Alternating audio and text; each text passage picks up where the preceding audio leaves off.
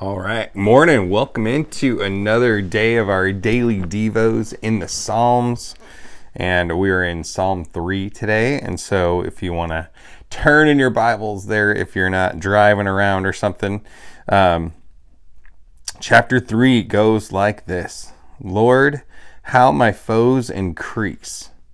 There are many who attack me. Many say about me, "There's no help for him in God."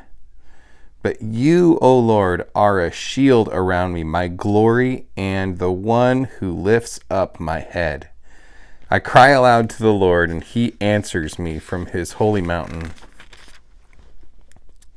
I lie down and sleep. I wake again because the Lord sustains me. I will not be afraid of thousands of people who have taken their stand against me on every side. Rise up, Lord, save me, my God. You strike all my enemies on the cheek. You break the teeth of the wicked. Salvation belongs to the Lord. May your blessing be on your people. All right, so a um, couple of things that I just wanted to share that kind of jumped out at me, and um, I was reading uh, a note in a, one of my study Bibles, and it talked about how the word many there in verses one and two is actually the same, comes from the same Hebrew root of the word that God said to Adam and Eve when he told them to multiply, um, be fruitful and multiply. And then the next the next time it's used is in verse two. It says, "Many say about me, there's no help for him in God, and uh, many are those who attack me." And and the there's another time that that same Hebrew root word was used, and that was when God declared that he was going to multiply Abraham's descendants. And so here we have in the beginning in the in the beginning of everything God declaring I'm going to multiply. I want you to multiply um, to his people for his plans and purposes. And here we see the enemy kind of doing the the opposite, you know, the the enemy comes in and multiplies, you know, and there's many coming against you. There's many that are speaking against you, and uh, how so often that that is how the enemy comes in and attacks us is tries to come in and and uh, be the opposite of what God's trying to do in our lives.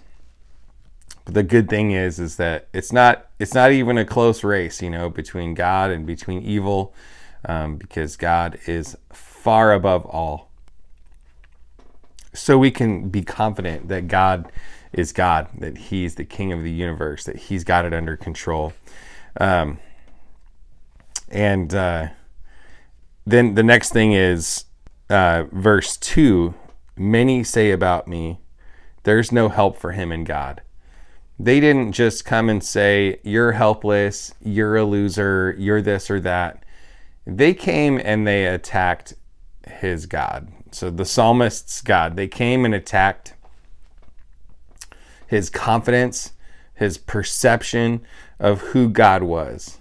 And and again, it sounds an awful lot like someone that was talking to Eve about eating from the tree where totally questioning like God what do you think God's doing? Why do you think God has told you no about this fruit?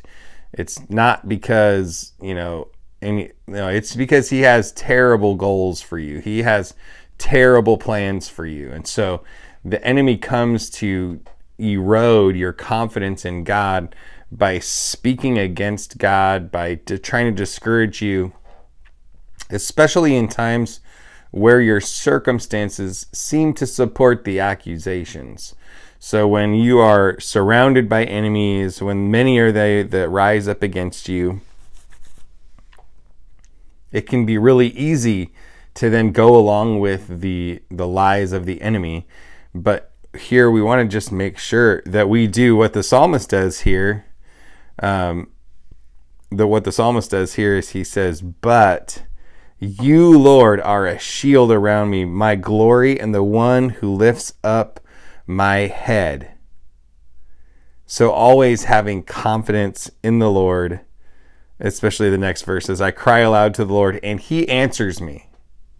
Confidence that God will always answer me. God is always listening to my requests, to my cries for help. And one thing I really liked out of verse 3 but you, Lord, are a shield around me. So that's a pretty, um, pretty common word picture, right? Is just having a shield around you that protects you from harm. But this next one, um, you are my glory and the one who lifts up my head. So my glory, um, glory is a word that has weight to it. Um, but what it kind of implies is you are my reputation. You are all, you're all of that. My, you are my significance. You are my reputation. Really tying every bit of himself into who God is, regardless of what his circumstances are saying. And then basically preaching to himself to say, I cry aloud to the Lord, and he answers me from his holy mountain. You, Lord, are my shield and my glory, and the one who lifts my head. And I think that's a great meditation for us today to just meditate on uh, verse 3 of, of this psalm. All right, and then um, then jumping over to verse uh, verse 5 I lie down and sleep, and I wake again because the Lord sustains me, and I will not be afraid of thousands of people who have taken their stand against me on every side. I mean, obviously, if you get to a place where you can lie down and sleep, it's because you feel confident enough, you feel secure enough to be able to close your eyes and go to sleep. And so, um, and also recognizing that it is the one, it is the Lord who sustains me and that's why he can be secure enough to sleep is because he recognizes that God is the one who protects me, God is the one who sustains me, God is the one who wakes me up. You know, as I wake up in the morning, he sustains me. Even the fact that you woke up is a sign that God sustained you. Rise up, Lord, verse 7. Rise up, save me, my God. You strike all my enemies on the cheek and you break the teeth of the wicked. And so, obviously, this is his cry for help. Um, what you know exactly what he's asking for. He's like, God, bust them up, Lord, bust up my enemies. Um, and then verse 8 is great because it's how we should um, couch all of our requests to the Lord as well. Salvation belongs to the Lord. May your blessings be on your people. Salvation belongs to the Lord. So I don't know the timing of God when you want to answer these requests. I don't know when you want to accomplish this, but salvation belongs to you, and I trust you because you sustain me. You're my King. You're my God. You're my glory and the lifter of my head. You're the shield about me. So I just, I'm so impacted by how he was so surrounded. And this is King David. Well, this is David before he was king.